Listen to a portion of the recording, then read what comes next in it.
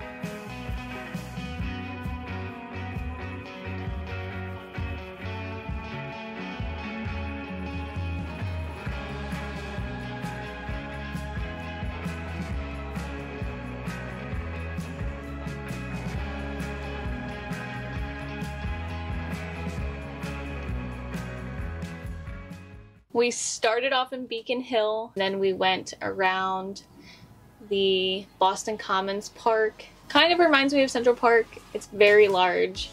Has a very similar bridge to London. If you've ever gone to the Queen's Royal Garden thing, I can't remember what it's called. In the back of that, there is a pond or a lake and a bridge across it that me and my mom went. I'll put a video here.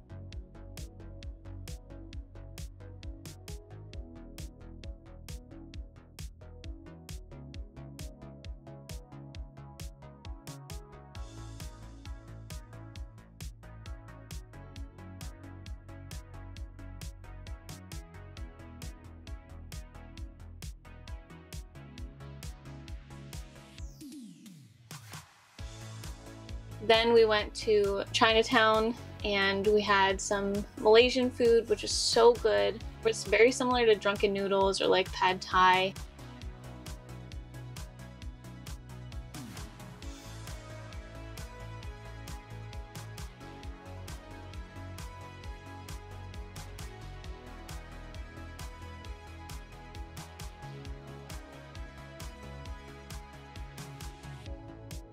Then we went to the Boston Public Market, which I really wish we had more money to spend because I would have spent my entire budget here.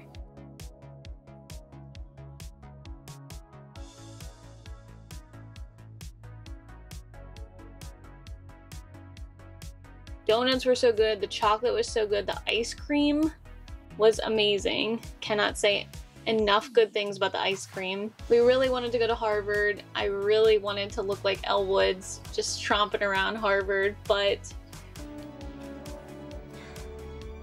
I totally looked the part. It started to pour.